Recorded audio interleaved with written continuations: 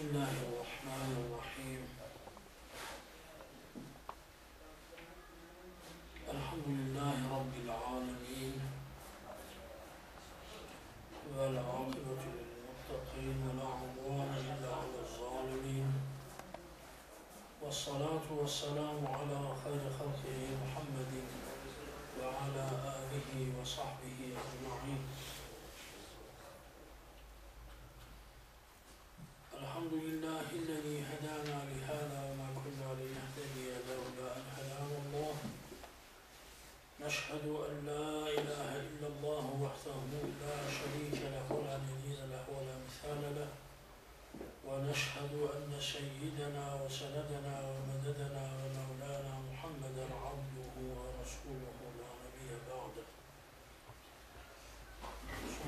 لا علم لنا إلا ما علمتنا إنك أنت العليم الحكيم. سبحانك لا فهم لنا إلا ما فهمتنا إنك أنت الجواد الكريم. رب اشرح لي صدري ويسر لي أمري. واحلل عقدة من لساني يفقه قولي. أو فبدوا أمري إلى الله إنه بصير بالعباد.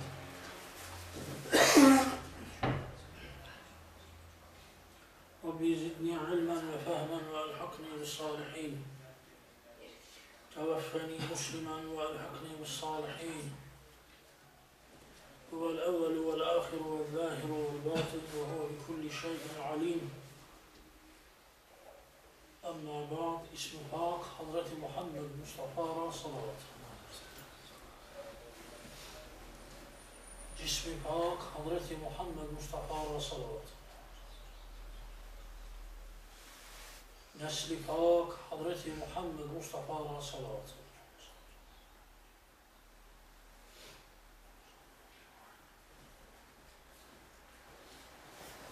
Cenab-ı Hak, Hayyad-ı Mutlak ve Rabbul Falak Hazretleri kerem ve inayetiyle, lütuf ve merhametiyle şu Recep-i Şerif hürmetine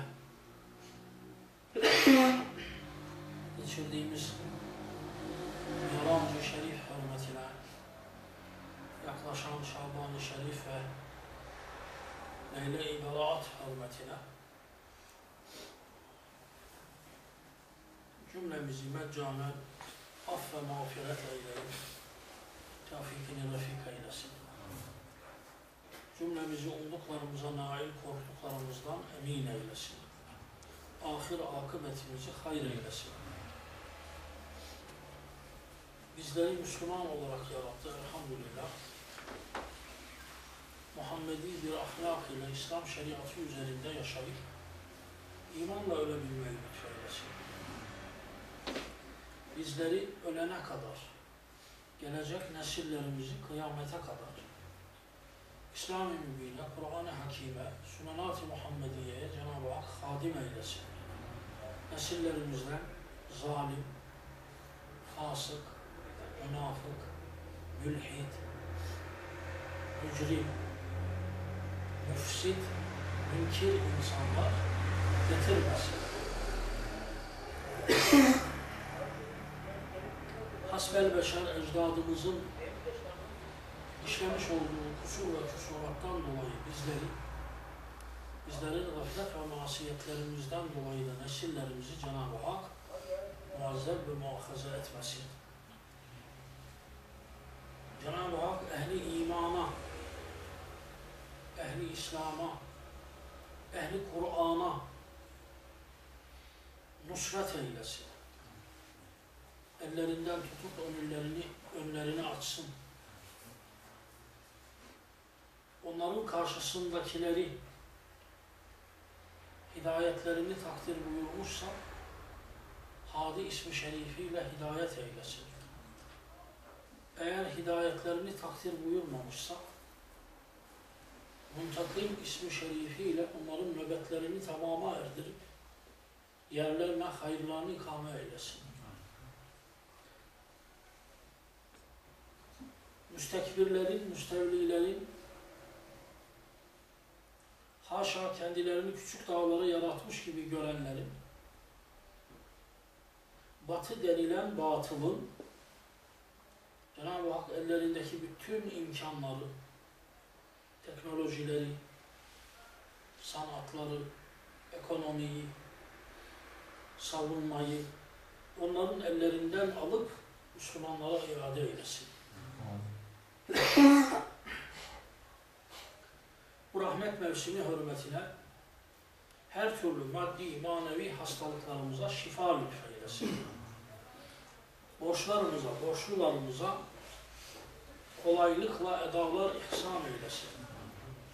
Her türlü derdimize, dertlilerimize devalar ikram eylesin. Amin diyenleri Cenab-ı Hak dünya ve ahiret aziz ve emin eylesin.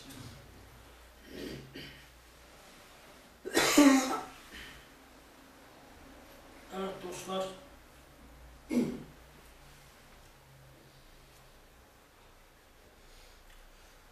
bizim prensibimiz ve büyüklerimizin bize nasihati ne söylerseniz kitaptan söyleyin. Yalan olmasın, yanlış olmasın buyurmuşlar. Biz de geçmişten günümüze onların bu tavsiyelerini cana minnet bilip büyüklerimizin eserlerinden efendim. Gerek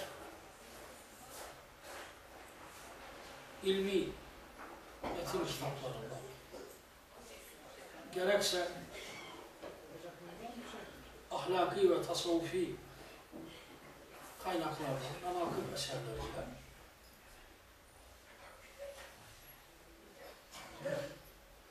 arzulu olan, istekli olan arkadaşlarımızla mevzuları paylaşmaya çalışıyoruz.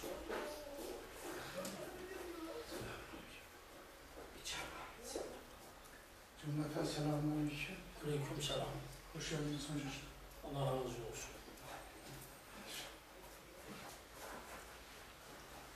Şimdi tabi her güzelliğin, her nimetin elde edilmesi için ona ait ön şartlar belirlenmiştir. Yani İslam fıkhında da bu. Şart ve meşrut mevzu.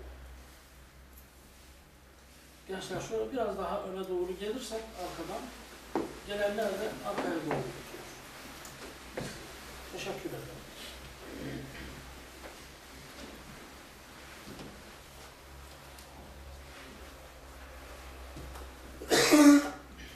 Şart ve meşrut dediğimiz şey bunlar fıkhi terimlerdir.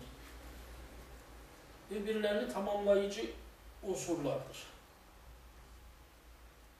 Yani biri olmazsa diğerinin de olamayacağı. Olamayacağı derken sihat anlamında. Manevi sihati bu ibadetse kabul şartı e, efendim bu anlamda olamayacağı.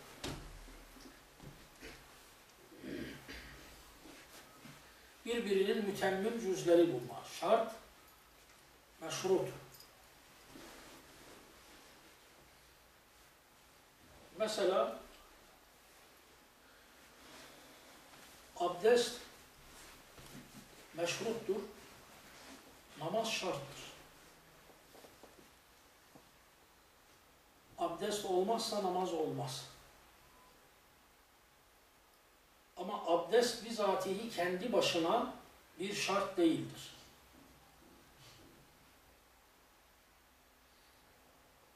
Kendinden sonraki asli vazife için gereklidir.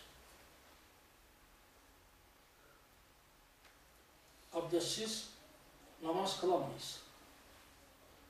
Dolayısıyla bu anlamda affedersiniz taharet meşruttur.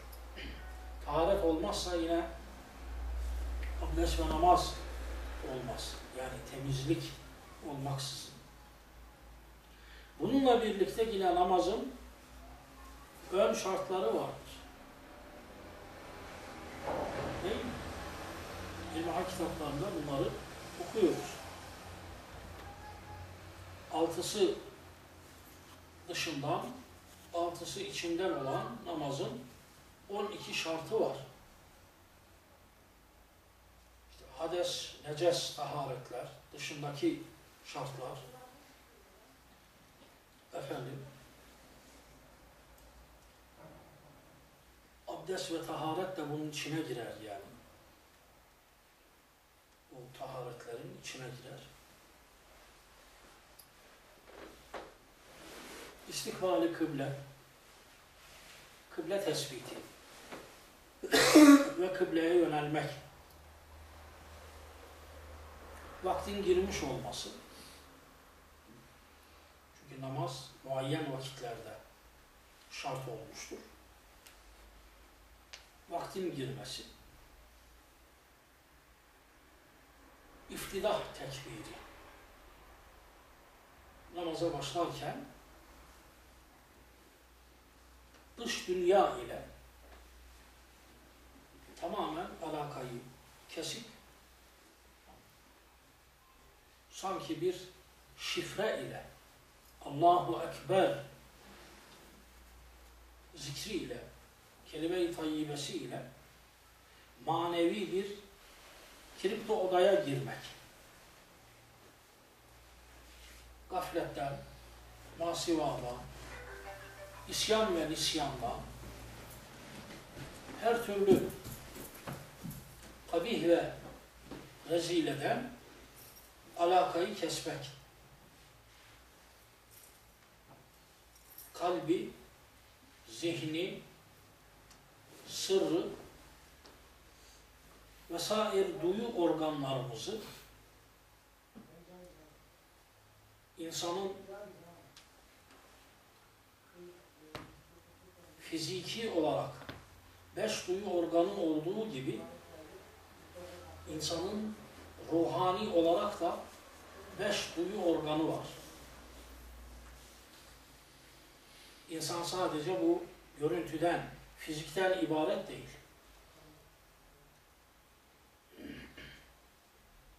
Göz, kulak, burun, dil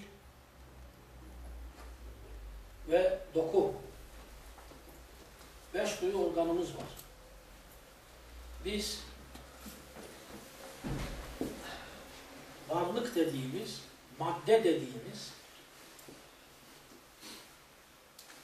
zerreden küreye bütün varlıkları bu hassalarla tespit edebiliyoruz, hissedebiliyoruz. Mesela eli felçli bir insan sıcağı ve soğuğu hissedemeyebilir. Çünkü sinirleri dumura uğradığı için parmak uçlarındaki efendim kasların içindeki sinirleri harap olduğu için bu insan tuttuğu şeyi de icabında hissedemeyebilir. Hatta tutamaz da belki.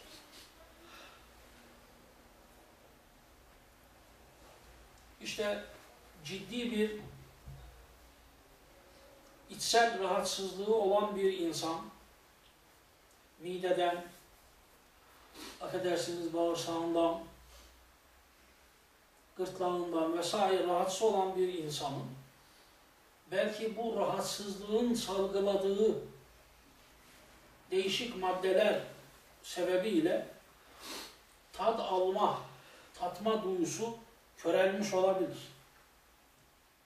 Mesela hastalarda iştahsızlık olur. Tad alamadığı içindir.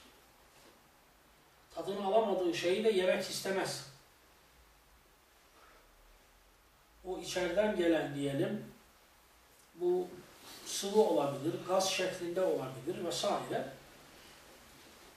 tad alma duyumuzu köreltebilir. Bu yüzden yemeklerin lezzetine varamayız. Diğer duyularımız da bunun gibi.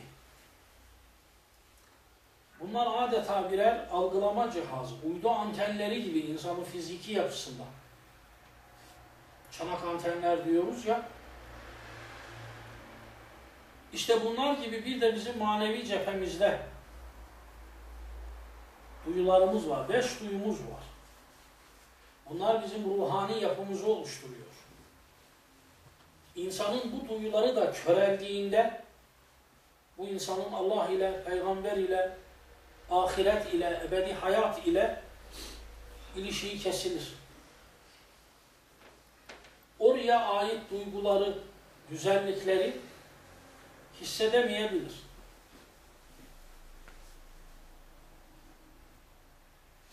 Bu duyularımızın başında birinci kalbimiz geliyor. Kalp.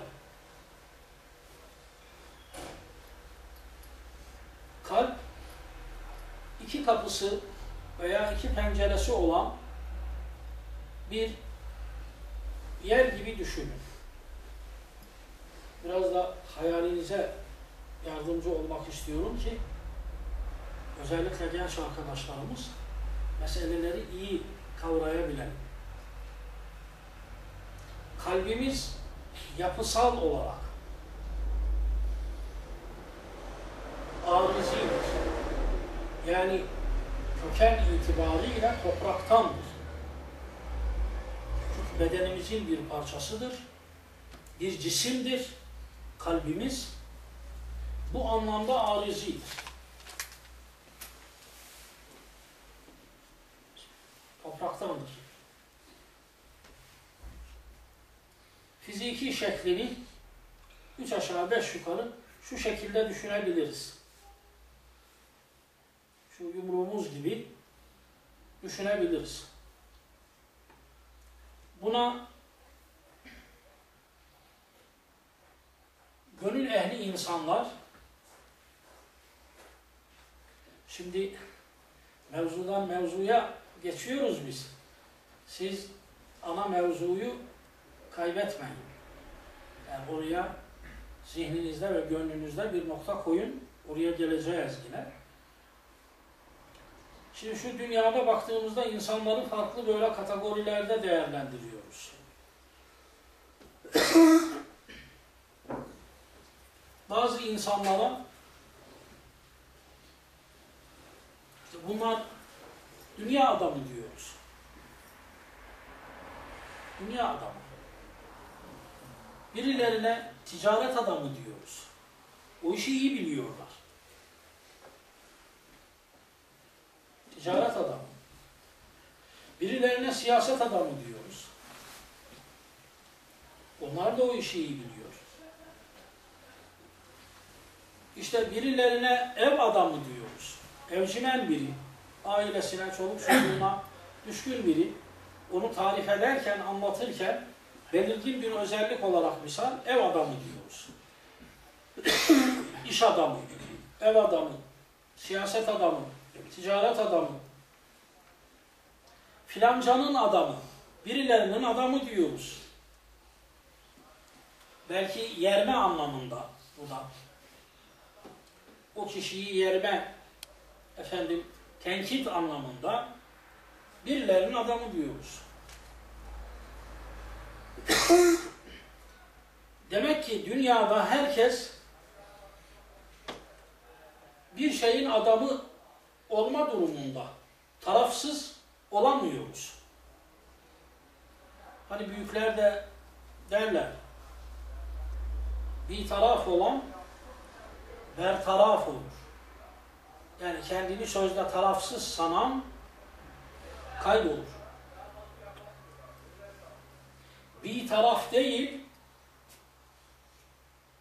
bir taraf olmak durumundayız. Yani bir tarafımız olmalı. Rengimiz belli olmalı.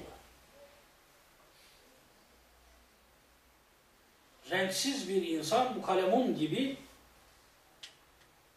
İslam'ın bunlar hakkındaki tarifleri Farklı.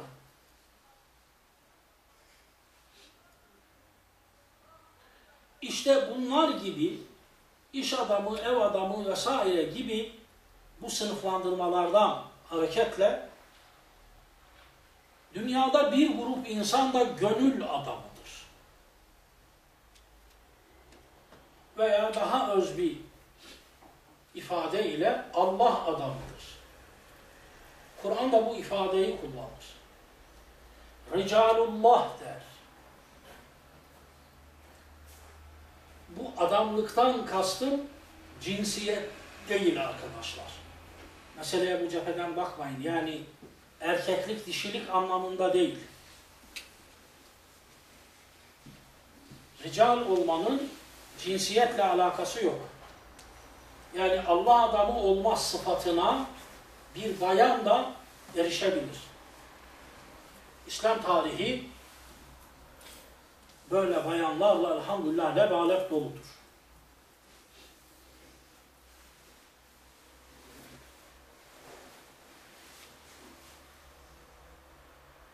Analarımız, nenelerimiz, hayatta olanlara Cenab-ı Hak sıhhat, afiyet, hayırlı uzun ömür lütfeylesin. Göçmüş olanlarına da zerreler adedince rahmet eylesin. Böyle idiler. Yani çok uzaklara gitmeye gerek yok. Bizi dünyaya gelmemize vesile olan diyelim ebeveynlerimiz, analarımız, nenelerimiz öyle kadınlardı ki belki bizlere abdestsiz süt vermediler.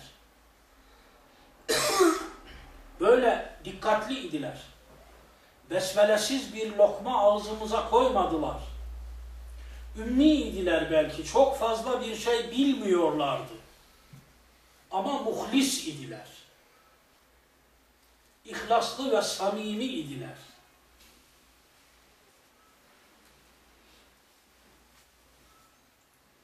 Bir arkadaşımızın annesi vardı.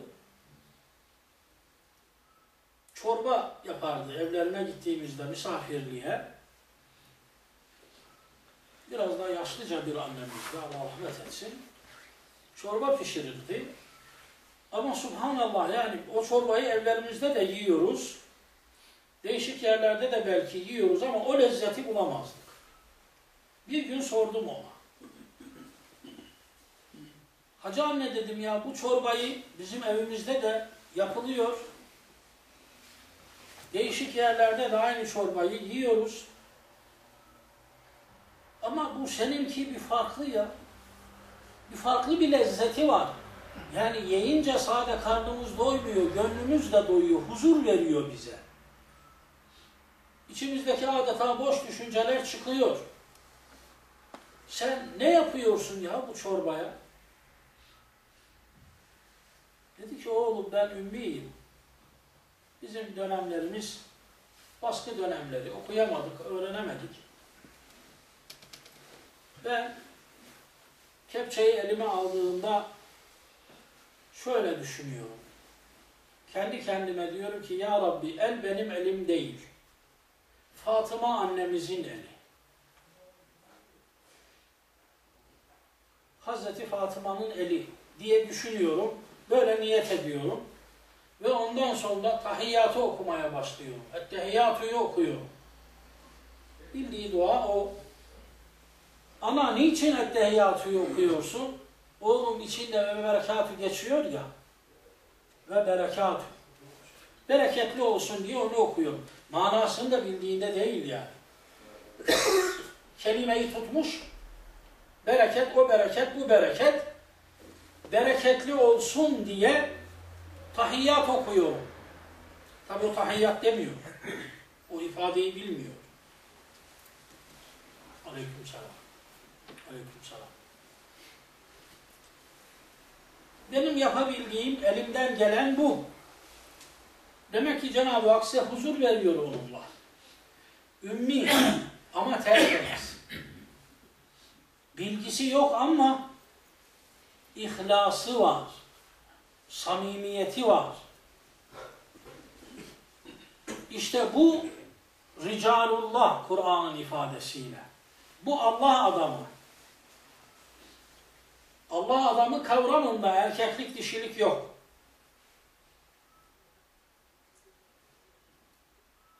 Ne var? اَلَّذ۪ينَ آمَنُوا kavi bir iman var. Ve kanu yettekûn buyuruyor Hazreti Allah. Çok güzel bir takva var, korku var. Allah korkusu var. Evet. Bir anekdot.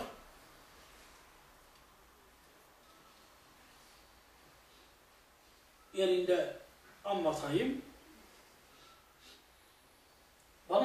Hocam, beni eğiten, okutan, yetiştiren, Cenab-ı Hak zerreler adedince rahmet eylesin. Bütün ulemamıza, sulahamıza, efendim geçmişlerimize. Bana bir gün şöyle sordular. Bunu zaman zaman anlatırım. Hoca, İslam'ın şartı kaç?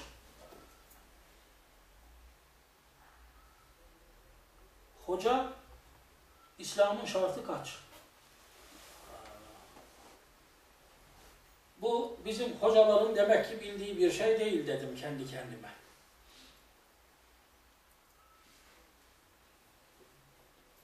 İslam'ın şartı kaç diye sorsalar belki çok sorun olmayacak.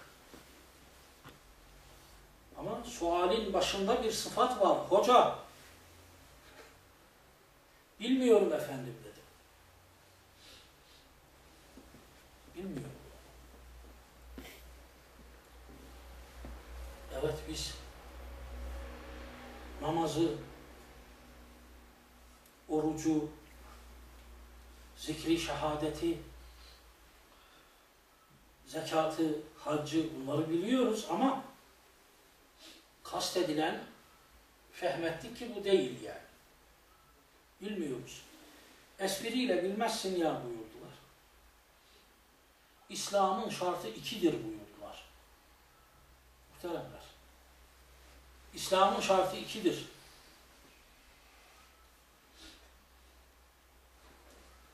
Yani bazen de espri insanı dinlendiriyor. Ben Karadeniz'de bizim temel askere gidiyor.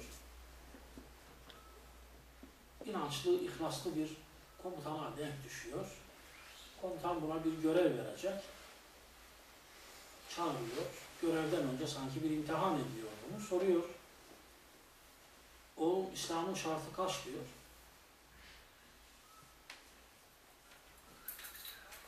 On beş diyor Temel. Bir tokat vuruyor. Az dedim diye düşünüyor. İslam çok kapsamlı bir din. 15 şart olur mu? 25 diyor. ikinci tokadı diyor. 40'a kadar çıkıyor. Her çıktıkça dayak yiyor. Tokat yiyor. Ve komutan buna diyor ki çık İslam'ın şartlarını öğren gel. Yoksa seni affedersiniz eşek sudan gelinceye kadar öğren. O da dışarı çıkıyor hemen. Kapıdaki nöbetçiye, nöbet tutan bir askere soruyor. Birader İslam'ın şartı kaç ya diyor.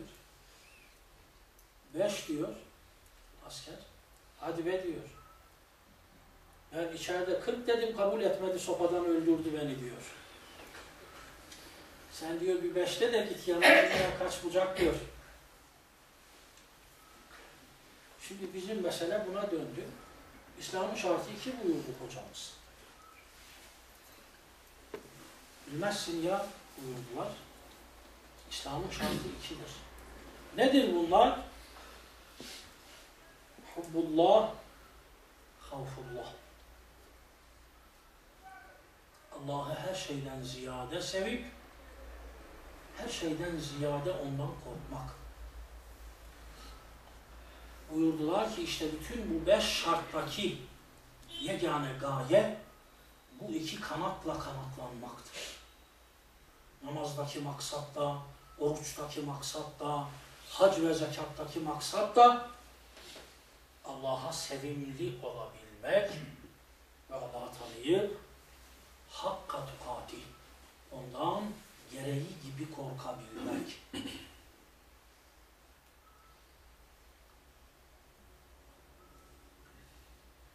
Evet.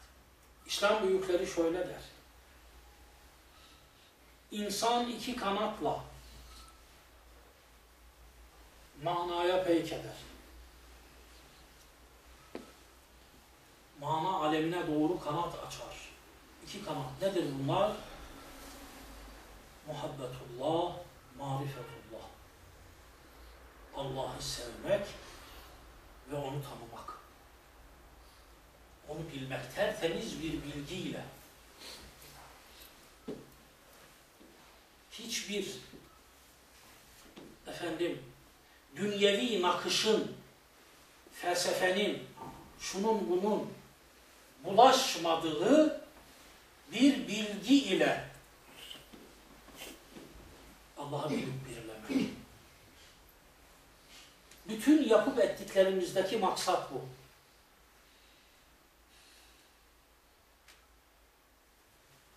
Anlatabiliyor muyum?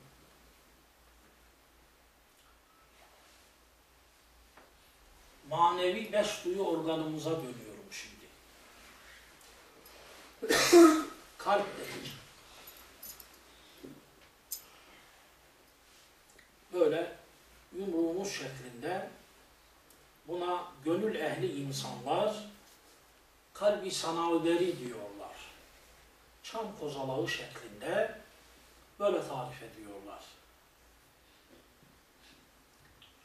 Asıl kalbe yani kastedilen, murad edilen ve nazargah olan, tecelligah olan kalbe ise fuad deniliyor. Fuad. Onun ucu bucağı yok. Sınırsız bir saha.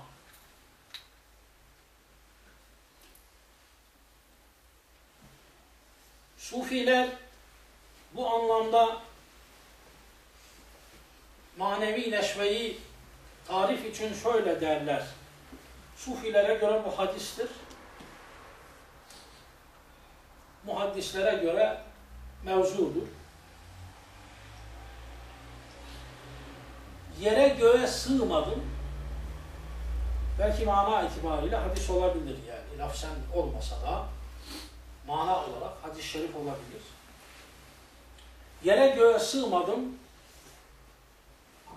Müminin kalbine sığdım.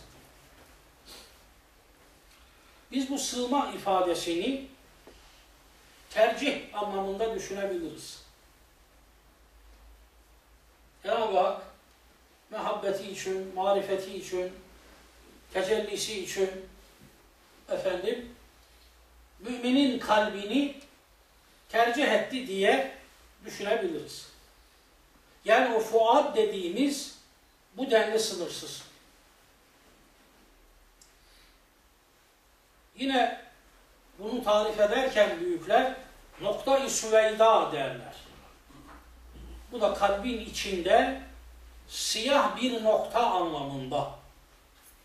Ama ötesi görülmeyen uzaydaki bir kara deliği düşünün la teşbih. Nokta-i süveyda. Bu kalbimiz cismani olarak arizi, bedenin bir parçası. Manevi olarak tecelli alanı olduğu için arşi, arşa müteveccih. Bu yüzden imanın merkezi, ihlasın merkezi, takvanın merkezi, hidayetin merkezi hep kalp olarak bize bildirilmiş. İslam'da insan akıl ekseninden ziyade kalp eksenli tarif edilmiştir.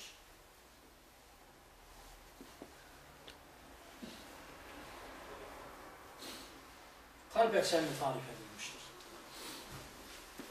Cenab-ı Hak örnek verirken ayetlerde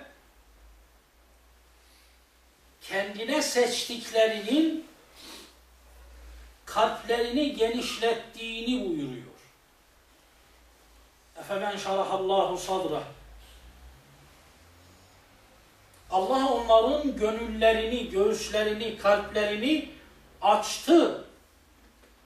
Kapsayıcı bir hale getirdi. Efendimiz'e yine hitapla elem neşrah leke sadrek. Allah senin sadrını genişletti. Seni her türlü sıkıntıdan bu anlamda azat eyledi. Darlıktan, bugün stres dedikleri efendim her türlü sıkıntıdan seni uzaklaştırdı, gönlünü genişletti, gönlünün sınırlarını kaldırdı. işte bu anlamlara bakınca biraz önce söylediğimiz Sufiye'ye göre hadis, muhaddislere göre mevzu olan kelimenin manasının hadis olması çok daha muhtemel. Mana itibariyle. Allah seçtiklerini gönüllerinden, kalplerinden tutuyor.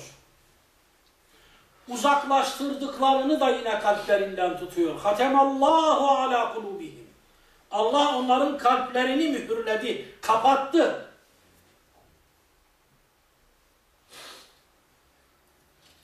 Onların gönüllerini kapattı. Anlayışa kapattı, idrake kapattı, sevgiye kapattı, itaate kapattı. Allah muhafaza buyursun. İnsan bu anlamda demek ki kalp eksenli. Bu yüzden kalbimizi önemseme durumundayız. Çünkü kalp kapandığında bütün diğer duyu organları da adeta oraya bağlı. Kalp merkezliyiz ya, hepsi otomatik ben kendiliğinden kapanıyor. Ve ala sem'ihim buyuruyor Cenab-ı Hak. Kulakları da kapanıyor onların. Ve ala absarihim gözleri de kapanıyor. Gönülleri kapananın bütün antenleri indiriliyor. Çanak antenler indiriliyor. Hiçbir şey algılayamıyor. Ona bir mana sızıntısı olamıyor. Böyle olunca da ne duruma düşüyor? Ebleh durumuna düşüyor. Bel ekseruhum la yaqilun buyuruyor Cenab-ı Hak. Sen onlara bakarsın ki çok kelli felli adamdırlar. Zahiren makamları, mevkileri, mansıpları en üst derecedendir ama la yaqilun onlar akılsızdırlar. Onlar akılsızdırlar. Varın muhasebeyi siz yapın yani. Akılsız bir insanın bir makamda olduğunu düşünün.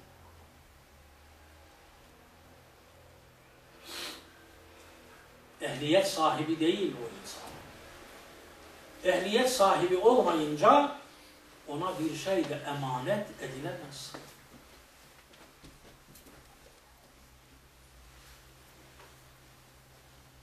Evet. Manevi duyu organlarımızın başında kalbimiz geliyor. Demek ki kalbimiz çok dakik olmalı. Çok dikkatli olmalıyız kalbimizin üstünde.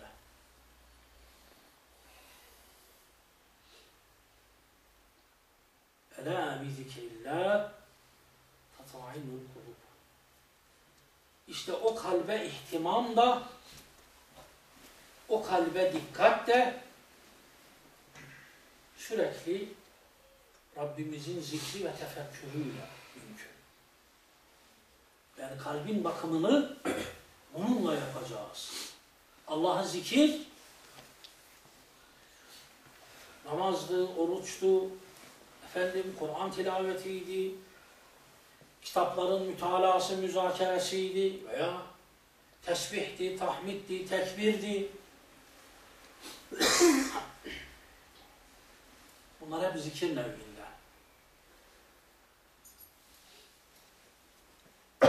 Yani Kur'an'ın bütün tavsiyeleri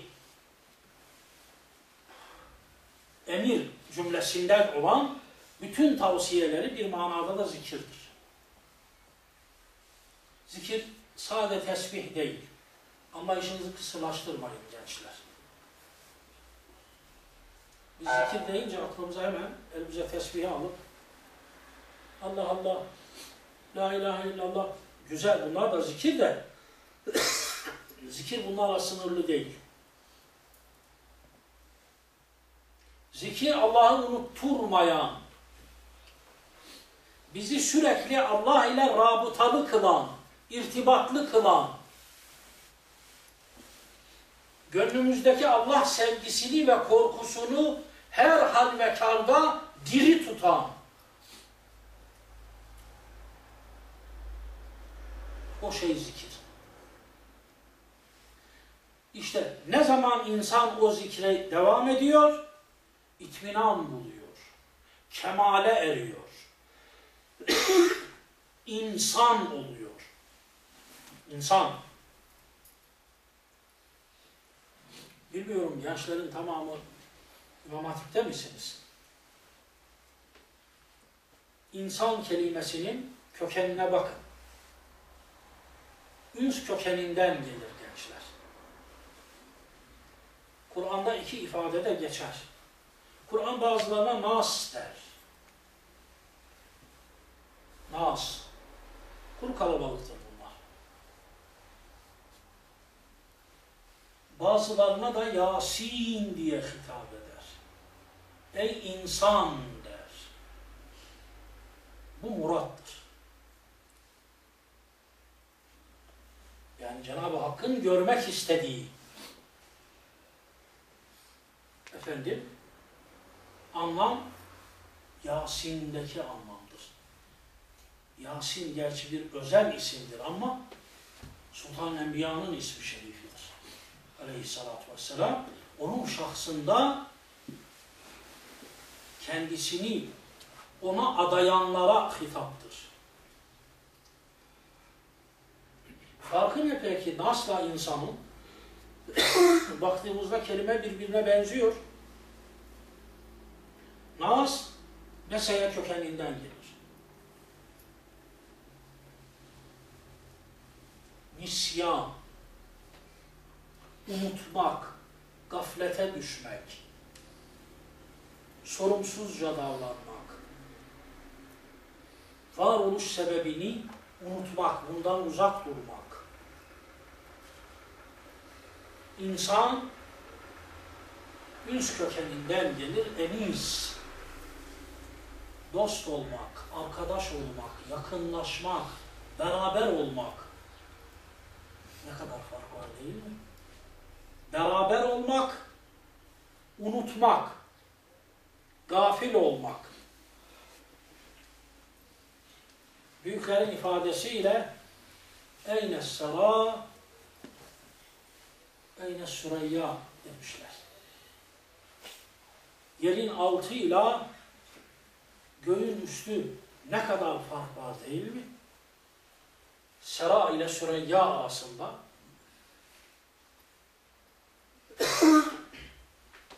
adeta bunu ifade için Sultan Enbiya buyuruyorlar ki işte bu anlamda zikredenle böyle bir zakir olanla gafil olanın farkı, nasla insanın farkı, ölü ile dirinin farkı gibidir buyuruyor. Zikreden diri etmeyen ölüdür.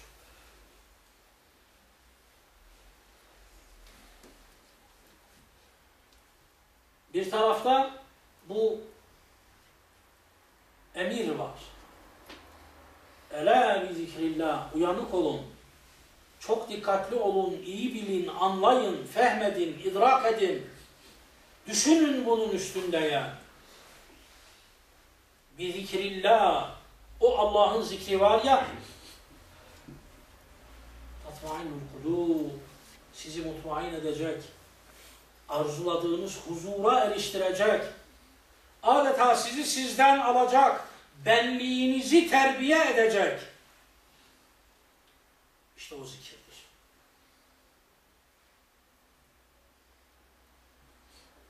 Bundan yüz çevirirseniz, bu zikri bırakırsanız, ölü konumuna geçerseniz, gafil olursanız, Bismillah ve men an zikri, eğer zikri bırakırsanız,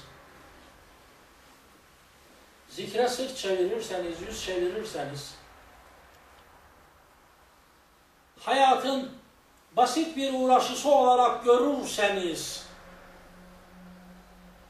boş zamanlarınızı değerlendireceğiniz bir meşgale gibi görürseniz Allah'ın zikrini,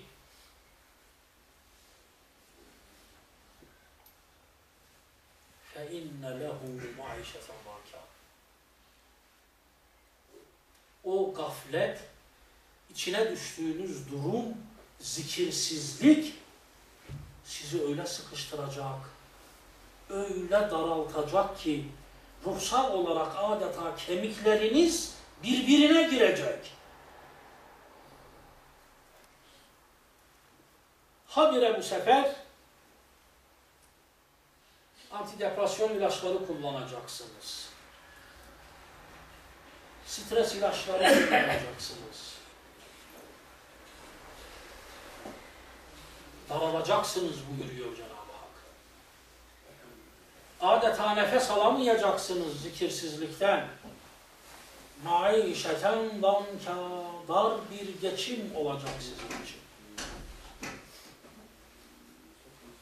Ekonomik olarak da, siyasi olarak da, psikolojik olarak da, sosyolojik olarak da her alandan daralacaksınız.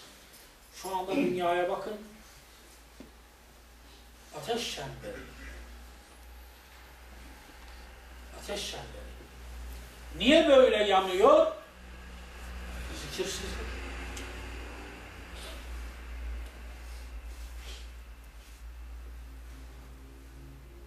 Ya hocam bu kadar Müslüman var, hacca gidiyoruz, umreye gidiyoruz, milyonlarca insan. Evet, çokluk bizi yanıltmasın. Halbuki Cenab-ı Hak çokluğumuza illa bakmıyor yani. Buyuruyor ki nice azlar çoklara galip olur. Yeter ki kalifiye olsun. Calut'la efendim Davud'un kıssasını anlatırken Cenab-ı Hak azların çoklara galip geleceğini buyuruyor.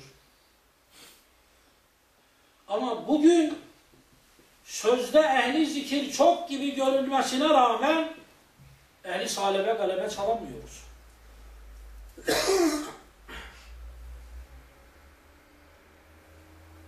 Çalamıyoruz. Türkiye'nin istatistiğine baktığımızda yüzde 99,5 Müslüman, yüzde yarımlık bir farklı bir zümre var. Ama bütün oyunları belirleyen o yarımlık zümre. Bütün planları yapan onlar. Suriye'de yüzde on iki farklı bir zümre var. Yüzde seksen sekiz Müslüman ama bütün oyunları başlatıp bitiren bu yüzde on ikilik zümre. Cenab-ı Hak Bedir ashabını bize örnek gösterirken bire iki yüz örneği veriyorlar. Bire iki yüz.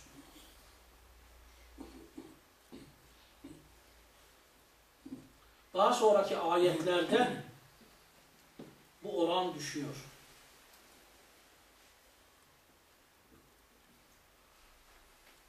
Yirmiye 200 oluyor.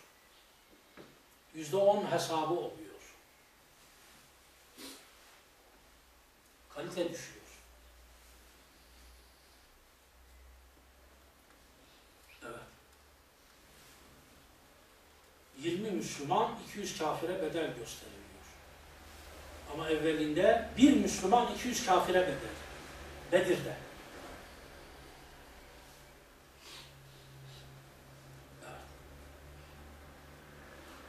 Niye böyle? Zikredenler kısım kısım diyor. İmam Efendi cennet mekan zikredenler kısım kısımdır. Zikreder ücret ister diyor. Zikrine bir karşılık ister. Zikrini Allah'a satar. Zikreder ücret ister. Zikreder cennet ister.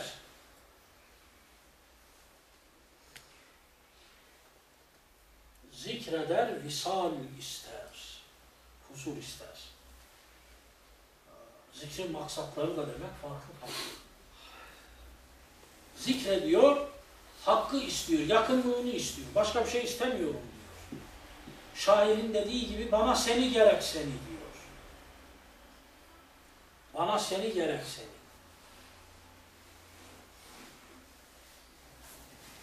Ama öbürü zikrediyor, ücret istiyor.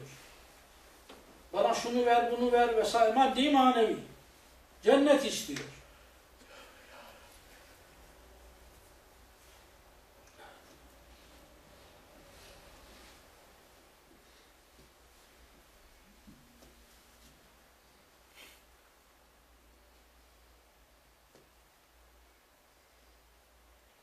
Gelibolu'da Yazıcıoğlu kardeşler var.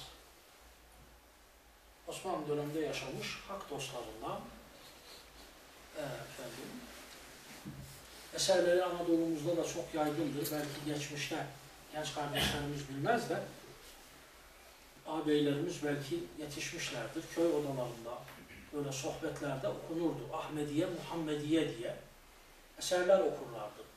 Babalarımız, dedelerimiz bu eserler çokça okunurdu. Böyle manzum şekilde e, şiirsel bir tarzda biraz da böyle sesi güzel olanlara okuttururlardı. Kaside, mevlid gibi muhabbete vesile olurdu. Bu eserleri yazan zatlar bunlar. Yazıcıoğlu kardeşler diyorlar. İki kardeş Ahmet-i Bican, Muhammed-i Bican Hazretleri. Bunlar meşhur Ankara'daki Hacı Bayram Veli Hazretlerinin talebeleri. Onun yetiştirdikleri. O eserin bir yerinde şöyle diyor da adeta insanları sınıflandırıyor bu anlamda. Bir dua halinde, bir naz makamında bunu ifade ediyor. Ya Rabbi avama nevalin ver. Avam sıradan insanlar. Belki asliyetini bilmeyen, nereden gelmiş, nereye gideceğini bilmeyen. Sizleri tenzih ederim. Yine Niyazi'nin olsa gerek de öyle diyor. Nereden gelip gittiğini bilmeyenler hayvanmış. Evet. Nereden gelip gittiğini bilmeyenler hayvanmış. Bunlara avam diyoruz. Bunlara nevalin ver diyor. Yani nevale. Et ekmek ver. Bunların derdi bu. Akılların midelerinde. Avama nevalin ver. Onların gözünü onunla doyur. Havasa cinanın ver. Biraz meselesini anlayan, gözünü biraz açmış olan da cenneti istiyor. Cinan. Onlara cenneti ver. İstekleri o.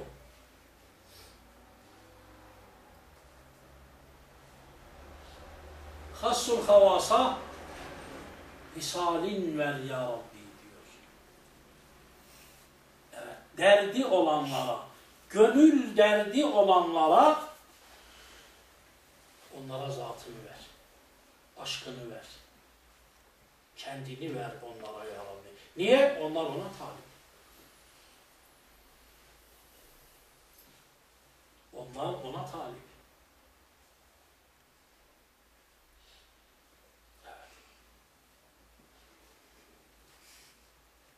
Şimdi talep çok önemli.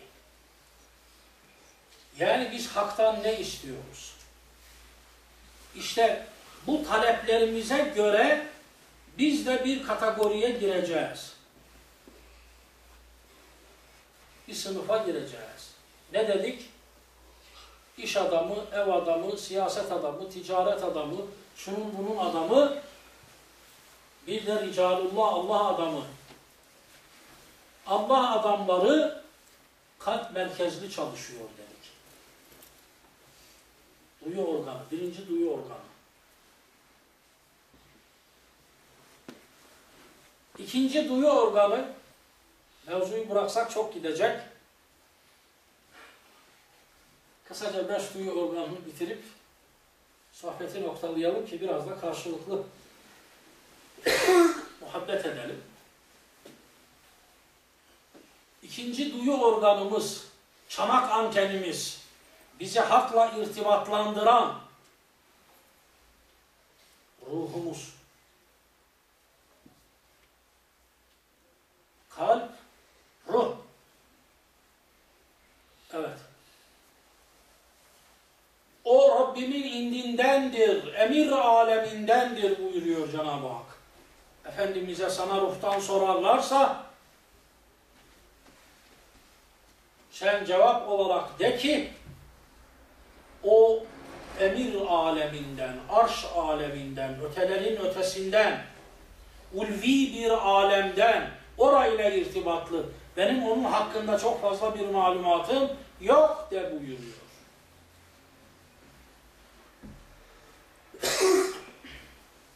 Es'elû anil ruhi sana ruhtan sorarlar. Soruyorlar da Efendimiz'e o günün gayrimüslimlerin din adamları, Yahudi ve Hristiyan din alimleri gelip Efendimiz'e ruhtan soruyorlar. Cenab-ı Hak ona önden şifreyi buyurmuş. Sana sorarlar, sen onlara de ki o emir alemindendir. Böyle ulvi bir yerle irtibatlı. Orayla alışverişi var.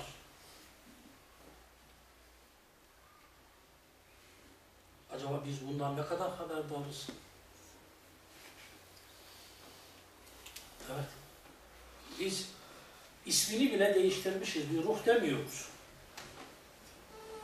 Can diyoruz biz. Can.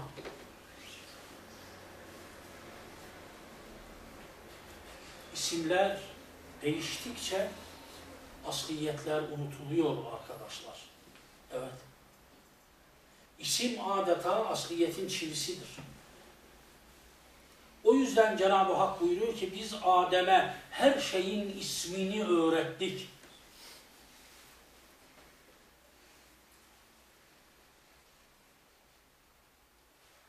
İsimler cisimlerle müsemmadır. İsmi bozduğunuzda onun o ismin altındaki cismi de bozarsınız.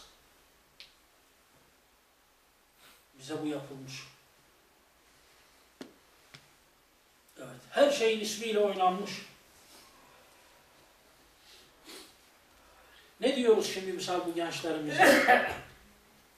Öğrenci diyoruz. Öğrenci. G, bakın ucunda G var. Bu G'lerden zaten çok çekiyoruz. He? Şucu, bucu, öğrenci. G oldu mu C oluyor. Yani çocukları korkutmak için böyle bir hareket yaparlar. Neydi bunun ismi? tullab veya talebe. Bu dilimize de girmiş bir kelime. Talebe ne demek? İsteyen, arzulayan, istekli olan, bir maksadı, bir gayesi olan. Peki öğrenciyi böyle açabiliyor muyuz? Yok. Şimdi gençlerimizi açabiliyor muyuz? Öğrencilerimizi açabiliyor muyuz? Kusura bakmasın genç kardeşlerim. Kendinizi açın diye bunları söylüyor. Açamıyoruz. Çünkü bir talepleri yok. Okurken bir talepleri yok. Tek talepleri ne? Okuyayım iyi bir iş bulayım. Affedersiniz. Bir baltaya sap olayım yani. Bunun için okuyor. Hakkı tanıyayım diye almış. Bilgi hakkı tanıtıcı vesile. Öğrenip Rabbimi tanıyayım talebi yok. Böyle bir gaye yok, böyle bir maksat yok. Muallim diyorduk eskiden. Muallim. İlimle kelime bakın alakalı. Muallim, öğreten, alim olan, bilen ve bilgisini aktaran. Şimdi ne diyoruz? Öğretmen. İsimle birlikte asliyet de değişti. Öğretmeyen. Kusura bakmasın arkadaşlarımız. Biz Adem'e bütün eşyanın ismini öğrettik. Asliyetler isimle kaim. Bu isim değişikliği böyle böyle Allah ismi şerifinin karşılığı olarak bir dönemler Tanrı'yı öğrettiler bize. Tanrı.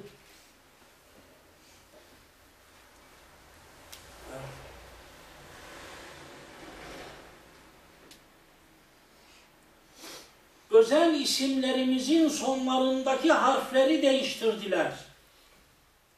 Ahmet diyemedik. Ahmet dedik. T ile söyledik. Dolayısıyla mana değişti. Ahmet neydi? Hamde değer. Hamd eden, şükreden, teşekkür sahibi, kıymet bilen. Muhammed diyemedik aleyhissalatu vesselam. Mehmet dedik. T ile söyledik hep bunları.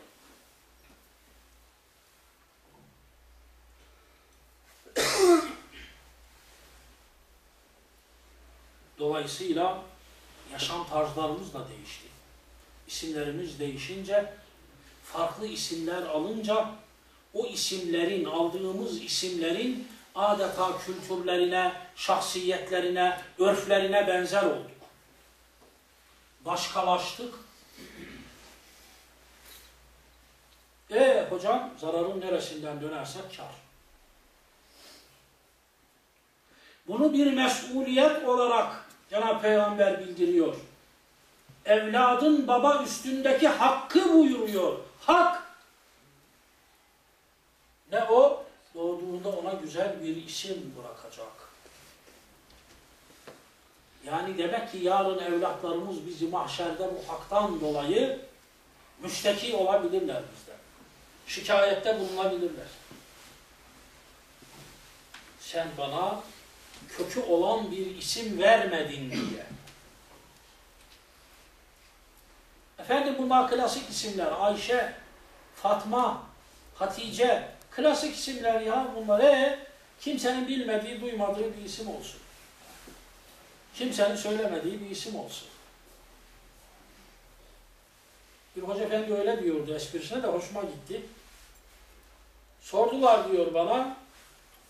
İşte dedim misal Ahmet olsun. Ya hocam bunlar klasik isim dedi diyor. Böyle kimsede olmayan, kimsenin bilmediği bir isim söyle. Nemrut olsun dedim diyor. Nemrut koy. Kimsede yok bu isim. Bak hiç kimse bunu koymuyor.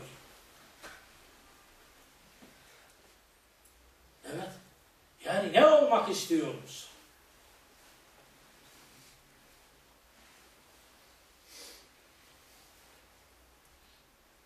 Ruh.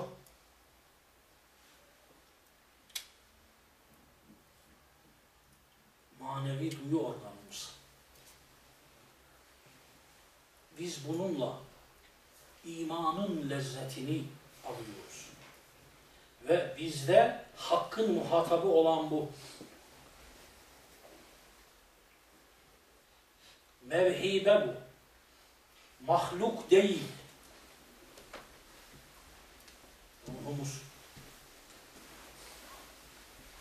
Cenab-ı Hakk'ın bir nefhay kutsisi, bir nefesi mübarekesi, bir kelime-i ilahisi, atiye-i sübhanisi. Evet.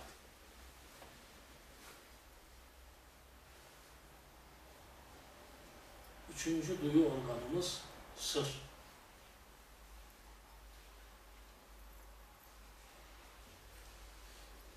Bunlar bir hadis-i şeriften mülhem. Efendimizin bir hadis-i şerifinden mülhem bunlar. Sır. Bu da bir manevi çanak. Evet, oraya da ilhamlar geliyor. İnsan, Kur'an'da nefsin belli mertebeleri tarif ediliyor.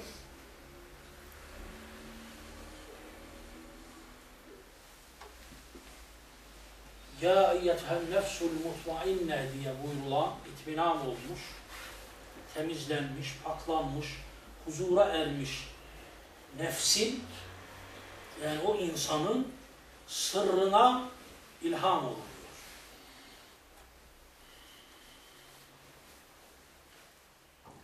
Bu manada Resulullah buyuruyorlar ki hakkıyla Allah'tan korkanın ve bildikleriyle amel edenin muallimi Allah olur, ona bilmediklerini öğretir. Onu bilmediklerine veya başka bir rivayette varis kılar. Öğrenme yollarını açar. Zahir batın o insanın sırrına sırrullah açılır. Allah'ın sırları açılır.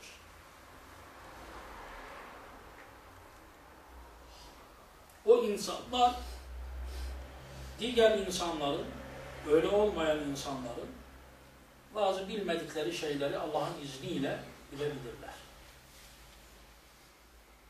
Onlara ilham eder Cenab-ı Hak. Ali'ye ilham ettiğini buyuruyor. Karıncaya ilham ettiğini buyuruyor. Huthuta ilham ettiğini buyuruyor. Yani bunlar şaz varlıklar değil. Bunlara ilham ediyor. Haydi haydi insana da ilham edecektir. Peygamber olmadıkları halde Meryem'e ilham ettiğini, Hacer'e ilham ettiğini, Asiye'ye ilham ettiğini bunları bildiriyor.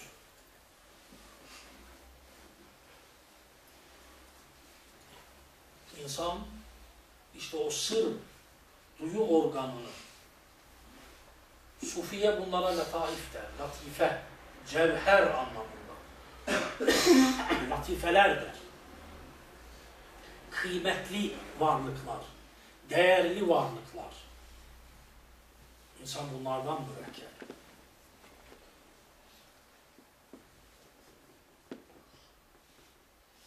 Dördüncü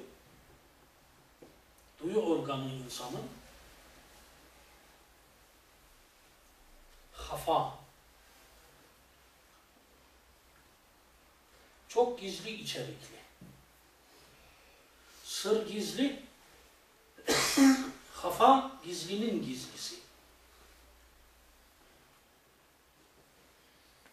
Gizlinin gizlisi olduğu için çok fazla bir şey söyleyemiyoruz hakkında. Yani o gizlilik perdesini aralayamıyoruz. Ancak bu yaşanılarak, hissedilerek öğrenilebiliyor. İlmi ilmin bir kısmı satırdan, bir kısmı da sadırdan arkadaşlar. Gönülden devam eder. İbn Hanbel rahimahullah öyle buyurur. Ashab ilmini sadırdan sadıra aksetti. Sahabe-i kiram bütün bilgilerini adeta Resulullah'ın gönlünden kendi gönüllerine aldılar. Gönüllerini açtılar. Sadırdan sadıra, gönülden gönüle. Orada çok bozulma olmadı. Bir şey karıştıramadılar. Bizim zamanımızda buyuruyor İmam Ahmet İbn Hanbel, bizim zamanımızda ilim sadırdan satıra döküldü. Gönülden satırlara döküldü. Korkarım ki bizden sonra satırdan satıra devam edecek. İşte o satırdan satıra aktarılırken karışıklıklar olabiliyor. İslam uleması buna ne diyor? İsrailiyat diyor.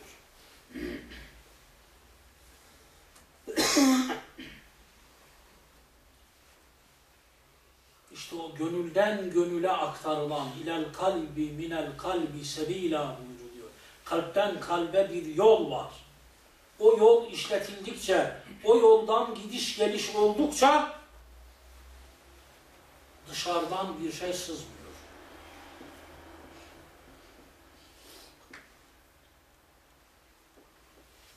Hazreti Ebu Hureyre öyle buyuruyor. Resulullah Aleyhisselatü Vesselam bana iki bardak su verdi. Birini içtim, birini saçtım buyuruyor. Sudan kasıt ilim. İki ilim öğretti Cenab-ı Peygamber bana. Birini içtim, birini saçtım. Rivayet ettiği hadisler.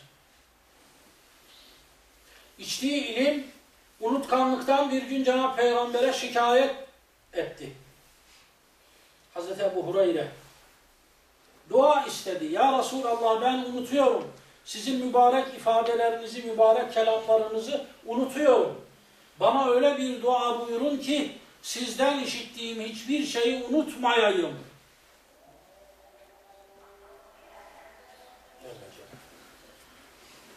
Resulullah Efendimiz buyurdular ki ya Ebu Hureyre cübbeni aç. Kırkanı, ceketini, cübbeni aç. Efendimizin önüne serdi Hazreti Ebu Hureyre cübbesini açtı. Efendimiz üfledi. Bir nefes bıraktılar. Topla ya Ebu Hureyre buyurdu. Hemen topla. Sanki bir kuş oraya bıraktılar. Hazreti Ebu Hureyre hemen cübbeyi topladı. Bohça gibi kalbinin üstüne bas buyurdu. Efendimiz. Kalbinin üstüne bastı. Hazreti Ebu Hureyre buyuruyor ki ondan sonra ben Resulullah'tan bir nokta işitsem unutmadım.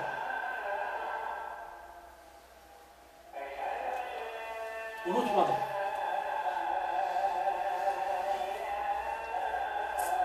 Ama maalesef günümüzde Ebu Hureyre'yi de masaya yatırmışız.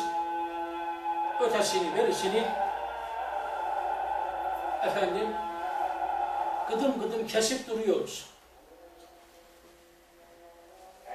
koca koca Allah'a sığınırız böyle bir iftiradan.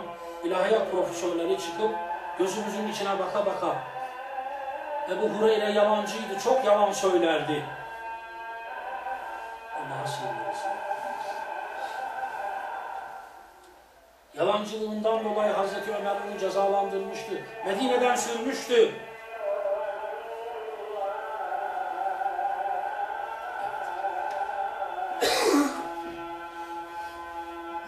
Niye bu arkadaşlar? Eğer mesela şu bina yıkım kararı almışlarsa bunun etrafındaki binaları boşaltırlar. Anlatabiliyor muyum?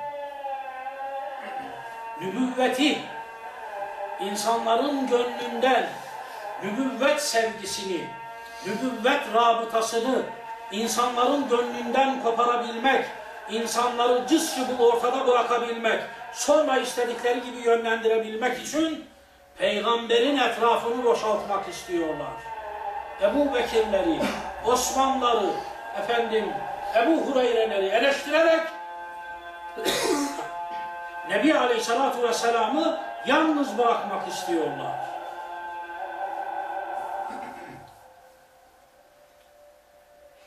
İşte siz bu duyu organlarınızla ancak bunlara ihtimamla La ilahe illallah Muhammed Resulullah ifadesinin hakikatini anlayabilirsiniz. O zaman Rab ne, ilah ne, mabud ne, maksud ne, Nebi kim, özelliği ne, sıfatları neler, görevi ne, o zaman anlayabiliriz. Hafa dedik. Dördüncü duyu organımız. Beşinci duyu organımız. Ahva, ahva, beşincisi hafa. Sır gizliydi, ahva gizlinin gizlisiydi, hafa onun da gizlisi. Onun da gizlisi. Şimdi biz bu beş duyu organımızla, bu manevi organlarımızla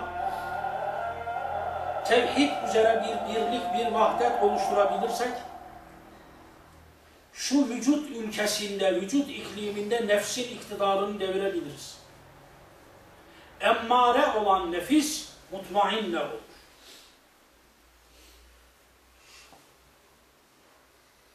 Evet. İstikamet denilen bir düzen vücuda hakim olur. O zaman kalp zikirde olur, gönül muhabbette olur, zihin fikirde olur. Bütün azalar asli vazifesine döner.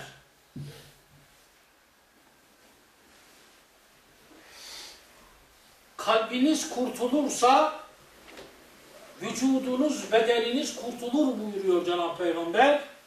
Kalbiniz fesat olursa, nefsin esaretine girerse, bütün cesediniz berbat olur. Gözünüz haramda, eliniz zulümde, ayağınız gayri meşru yerlerde vesaire vesaire.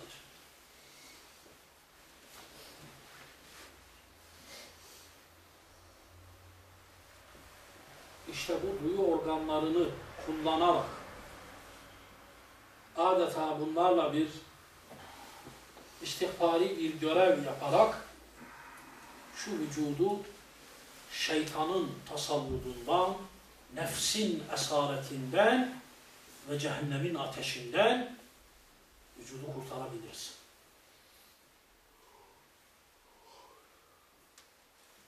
Şart ne idi? Şart meşruttan başladık. Mevzuyu bitireyim. Ezan-ı Muhammed'i de okundu. Şart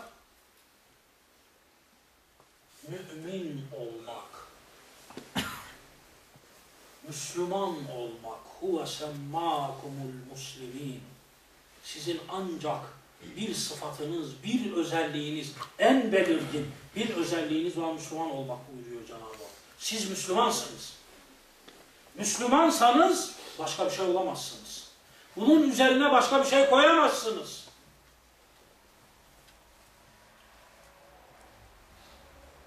وَلَا تَمُوتُنَّ اِلَّا وَاَنْتُمْ مُسْلِمُونَ işte sakın siz böyle Müslüman olmadan ölmeyin. Ölürseniz perişansınız.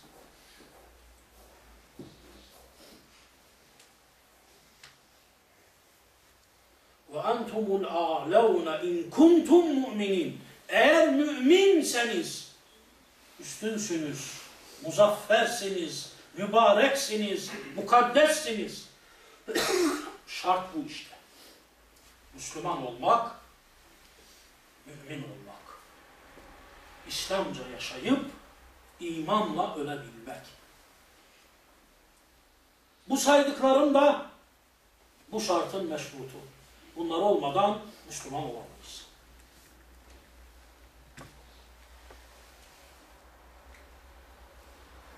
Meşrutsuz şartların sıhhati yok.